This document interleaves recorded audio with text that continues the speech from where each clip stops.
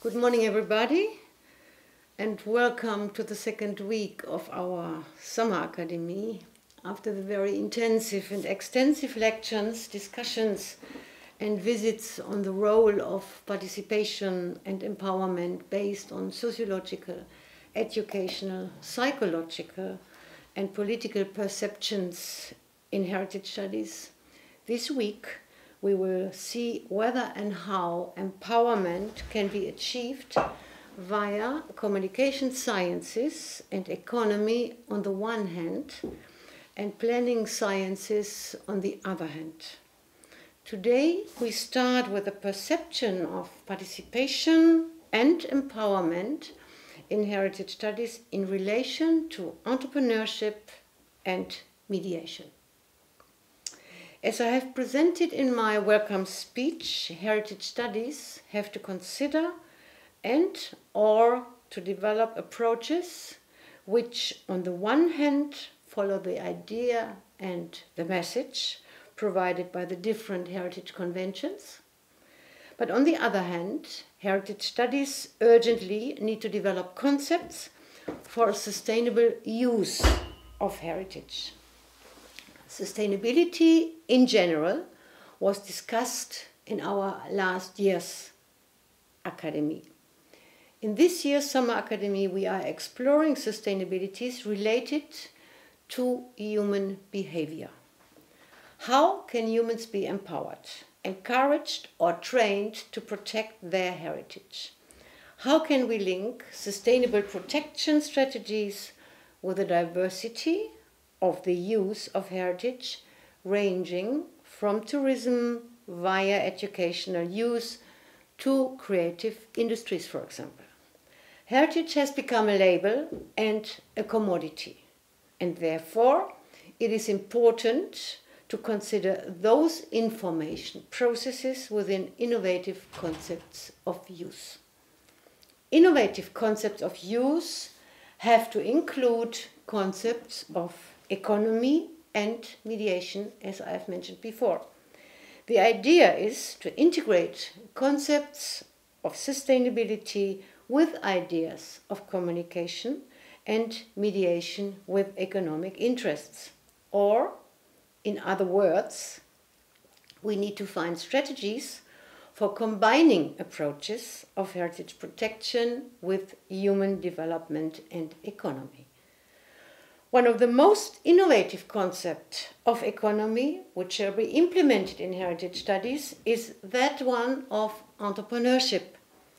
One of the most famous entrepreneurs is Professor Günter Faltin. Günter Faltin is professor for entrepreneurship at the Free University of Berlin, where he has established the field of entrepreneurship. In 1985, he has established the Projektwerkstatt with, I have to say that in German because it's a German term, with the idea of the tea campaign as a model of entrepreneurship. The company has become the world's largest importer of Darjeeling tea. He is initiator and sponsor of the reforestation project of the Worldwide Fund for Nature in Darjeeling, India. Professor Faltin has carried out several visiting professorships in Asia, conducted, conducted, sorry, conducted scientific lecture series and workshops in more than 20 countries, such as Canada, US, Mexico, Brazil, Japan, South Korea, Thailand, and India.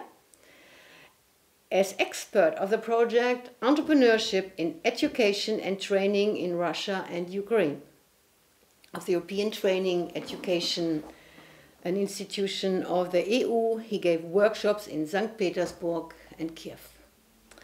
In 2001, he founded together with Professor Dietrich Winterhagen the Stiftung Foundation Entrepreneurship with the goal to promote a more open culture of enterprising.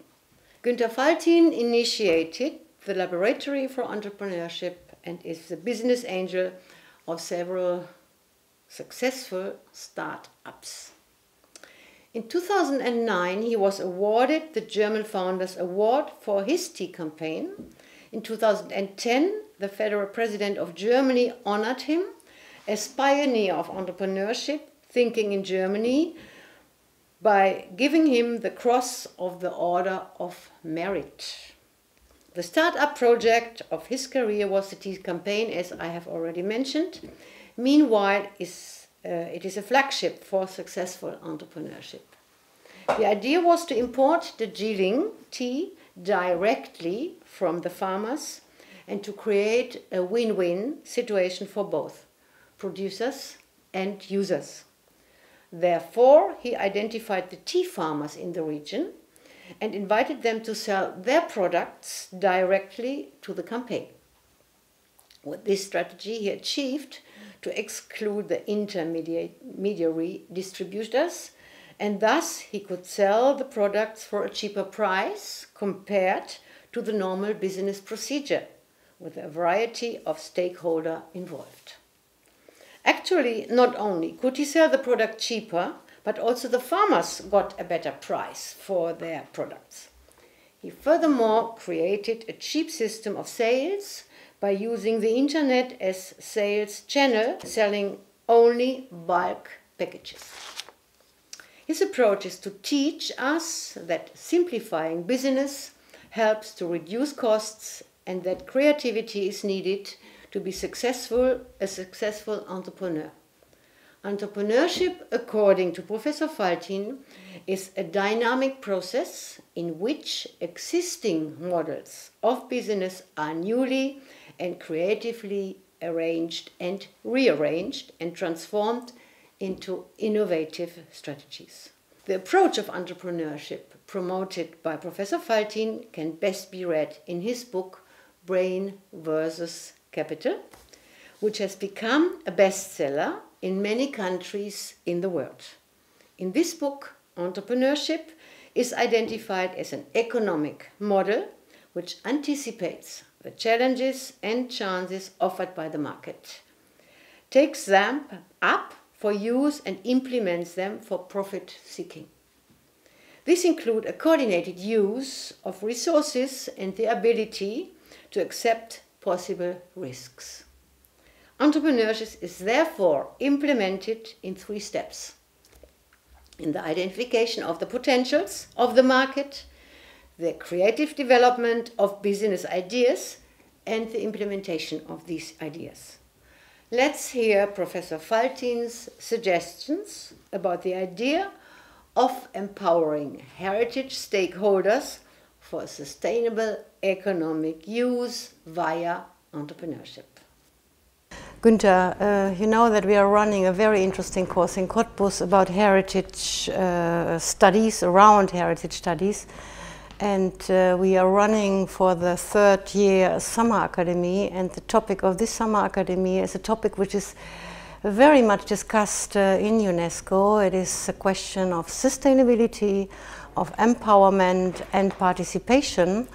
And uh, you know that UNESCO is uh, really interesting in valorization of culture uh, and but but uh, uh, uh, considering these three elements.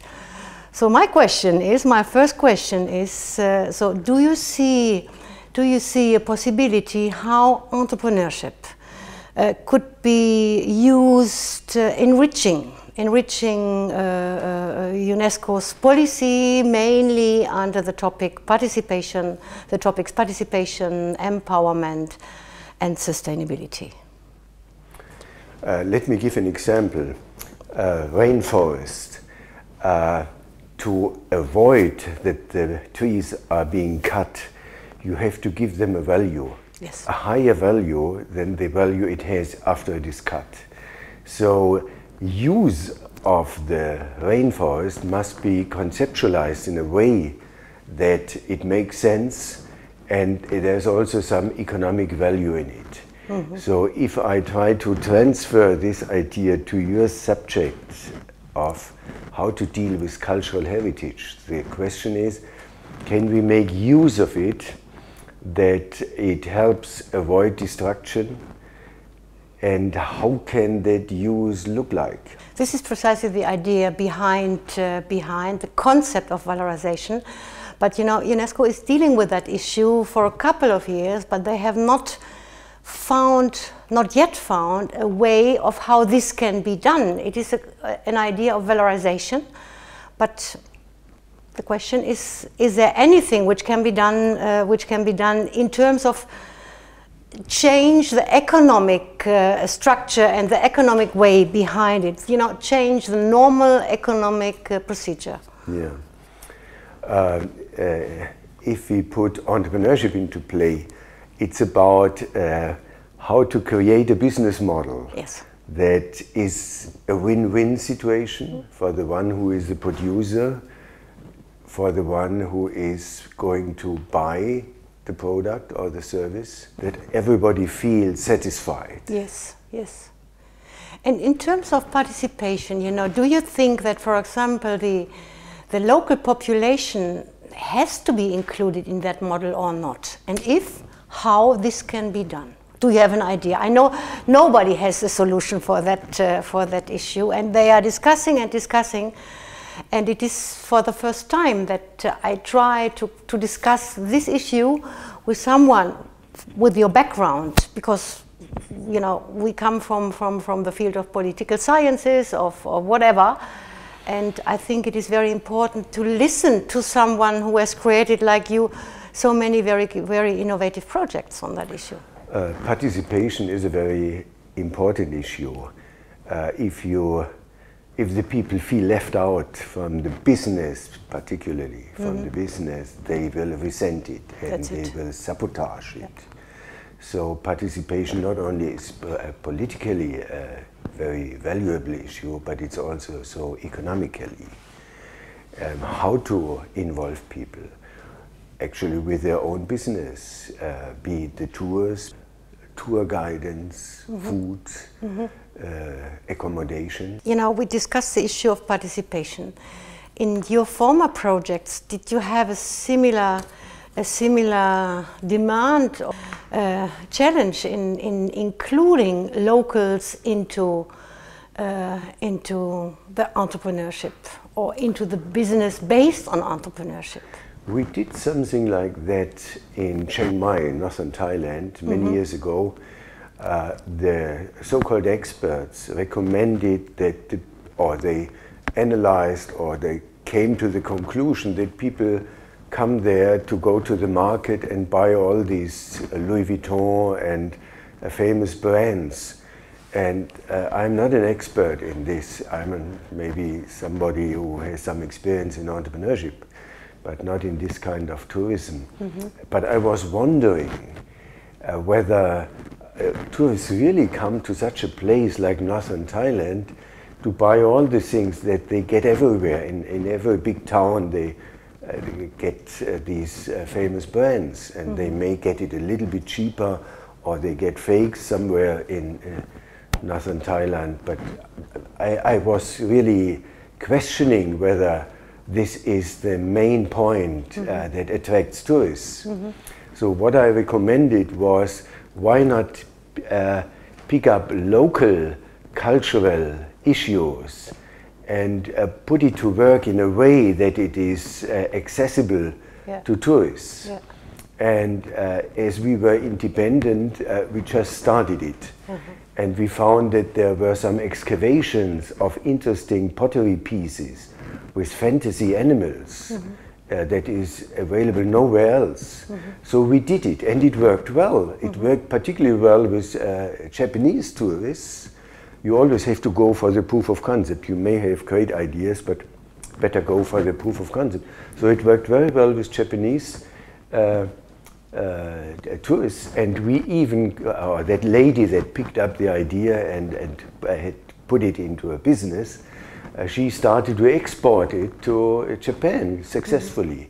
So uh, it, we should not just ask what is working with tourists, but what could work with tourists in a way that we provide new ideas, we provide a new point of views, and we try out, particularly we try out something. Uh, so uh, tourism is, for my understanding, is a bit uh, very mainstreamed and uh, not really a very creative field. in terms of the interest of the locals, you know, because this is uh, uh, this is what what what we, we all or what we are discussing at the moment.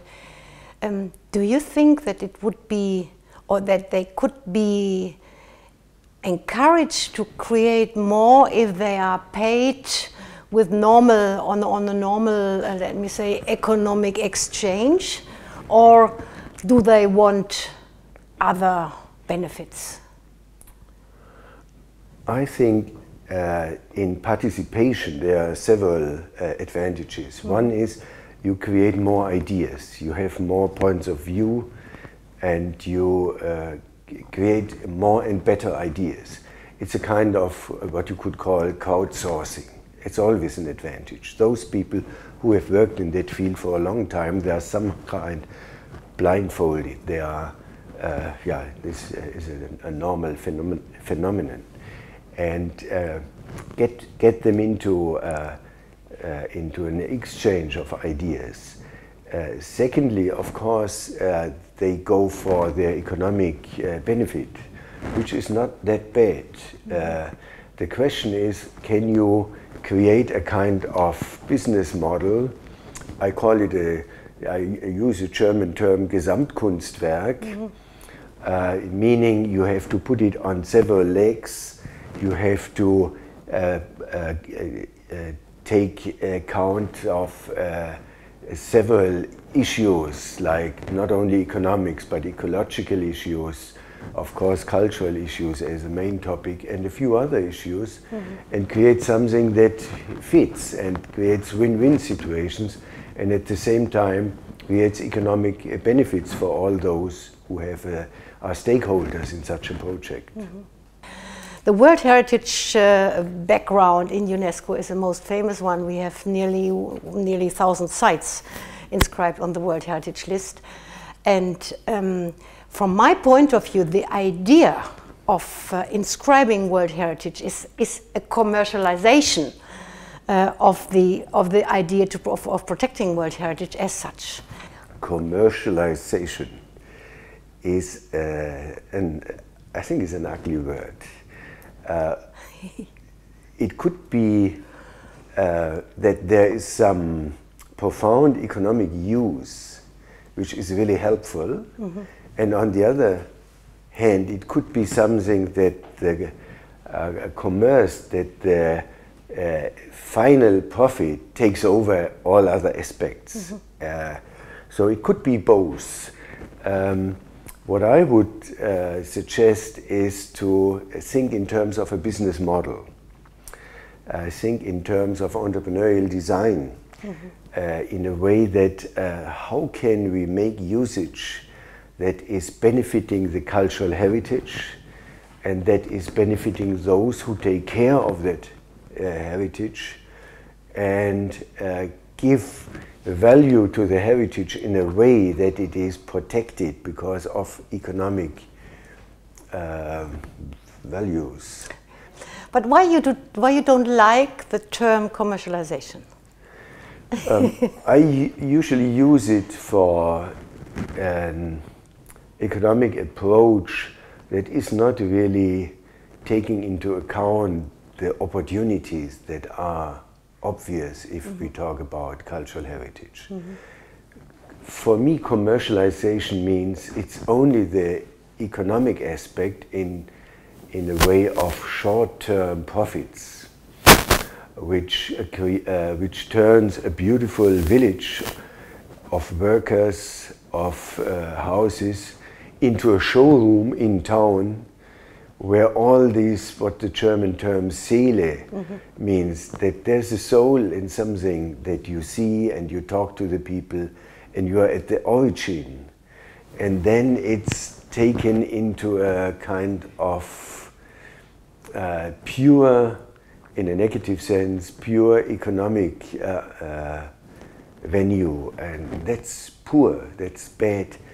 Uh, particularly if there's a cultural uh, uh, line to it. And uh, there are people involved, and there are, is a village involved, there are children involved, and it's about education, it's about ecology, of course.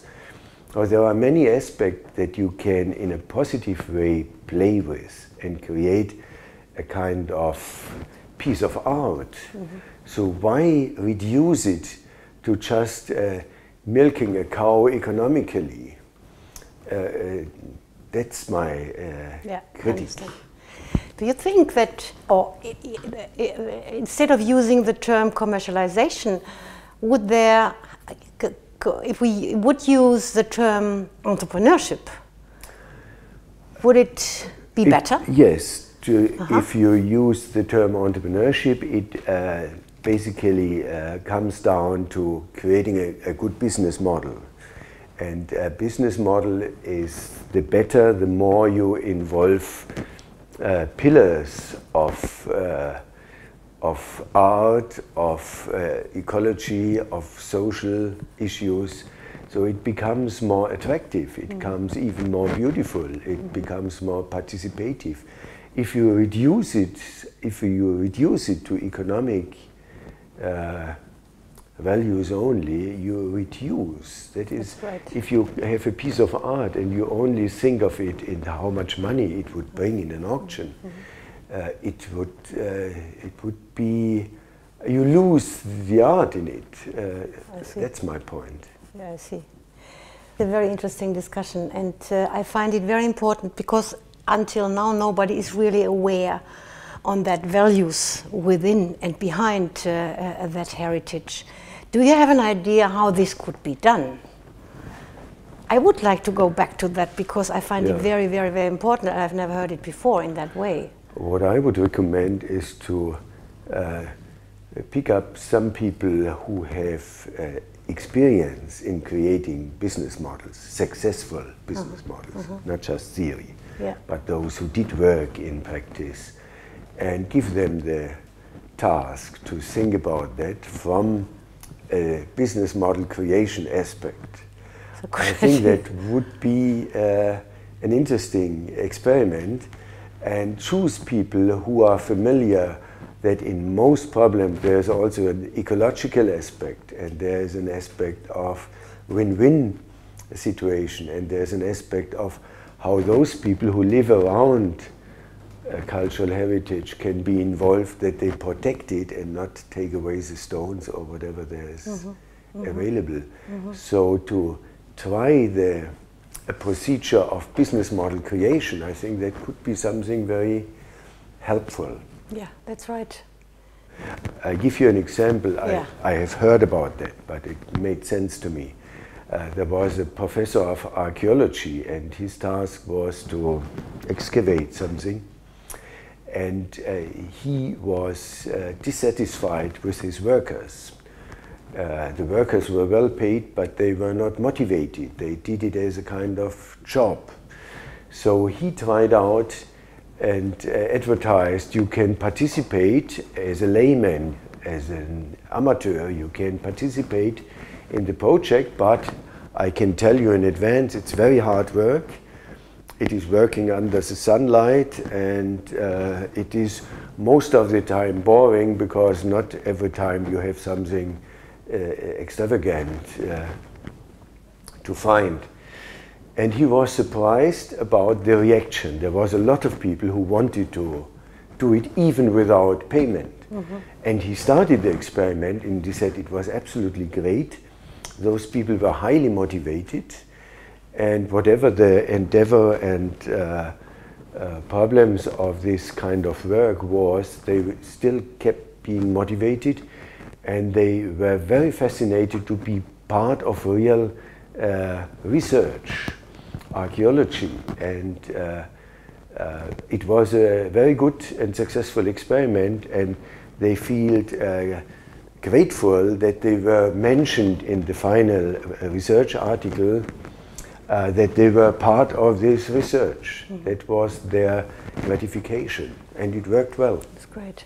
But does that mean, Günter, that, for example, entrepreneurship is a holistic concept which include which include uh, not only business on the one hand, it is also, as we as we discussed uh, uh, from the beginning, empowerment, participation. Of course. But what else? Yeah, of because course. this is an overall of course. idea it's, of. Uh, you can call it a holistic concept. Uh, look, if it's only based on economic uh, considerations, it could easily fall down if somebody undercuts your price or whatever.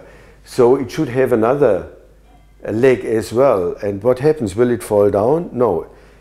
It has a second uh, pillar to stay on, and so with the others. So the more legs your business, the more pillars your uh, business model has, the better. And uh, of course, it combines to something that is more stable, uh, has better survival qualities yeah. than a business model that is only based on economic uh, uh, aspects. And if it's profit only, it, nobody becomes excited for anybody else's profit. Mm -hmm. So it must be a little bit more than about profits and about ego of some people. And a good entrepreneurship is when you involve a lot more aspects mm -hmm. than mm-hmm. just economics. Yes, you can say it's a holistic concept. But, but the difficulty, uh, you know, uh, this is what I see and this is what I realize. But are you alone when you are managing, for example, your projects as entrepreneur, or are you? Uh, uh do you have consultants, or, or because you, you have to have in mind a lot of different and diverse ideas and people and, and, and strategies. So how you find a common understanding and a common strategy? My experience is the more diverse the group, the better the solutions. Uh, even I would uh, put uh, the most diverse people together, a Buddhist monk and somebody who is about medicine and somebody who is about archaeology or whatever. Of course, it needs moderation and it needs an understanding that they all work on creating a good business model. I actually I don't like the term business model because it looks like that it's about business only, mm -hmm. and a model is something of a theory. It should work in practice, not just be a model. That's why I prefer the term entrepreneurial design. It's mm -hmm. about entrepreneurship, and it's about design. And design is closer to art and closer to practice than uh, a model only. But whatever the term, uh, it absolutely makes sense to involve people of very different fields mm -hmm. and give them a task to create a, what you call holistic uh, model. But considering the, the, the, the, the level of the level of education we have today in our universities, you know, if we think about Bologna, and uh, uh, or we have think about the education in, in, in, in, secondary schools. Where do you find these people? Normally they, they look like that. They have their uh, their discipline and that's it. They yeah. are not really able to be so creative. I wouldn't be so pessimistic. 20 years ago, yes, the entrepreneurship was a strange field and was an outside kind of uh, business. Nowadays, there are a lot of people who understand that you have to create a good entrepreneurial design as a basics to start. So you can find people who have done uh, good design uh, and have put it into practice uh, successfully. So um, it is not that uh, you are an outsider anymore if you propose uh, creating a good entrepreneurial design. Not anymore. It's even a kind of mainstream now. Startups really? are now uh, sprouting up everywhere, and all the big companies or universities want to have a, a center for startups and uh-huh. try to advise them and give money. So uh, you can put your own idea on top of a lot of initiatives that are there. And there's even a word, cultural entrepreneurship. It's a new discipline, and it deals with uh, how to uh, make culture available for those people for whom it is something strange or who are not don't have the education or the uh, motivation right now to to uh, get involved into uh, culture or even uh, deal with it. Mm -hmm. So uh, I think that would be an even good point to uh, put culture in a in a way that it is much more accessible to normal people. Mm -hmm.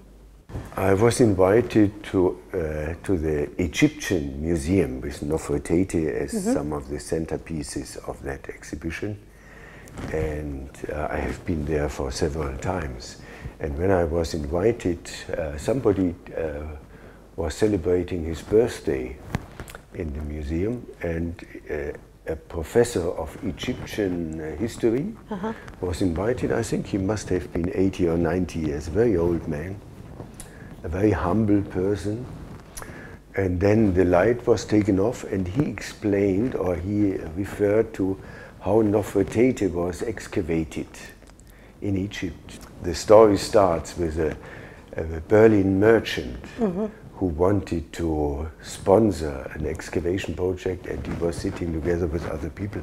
Actually, uh, actually what I want to say is this professor could uh, tell the story in a way, in the dark, in a way that uh, our fantasy was evoked and we could see the process going on and the search, what site to excavate and so on. And finally the uh, uh, result that they found something in, uh, in the Werkstatt yeah. workshop of sculpture. -huh.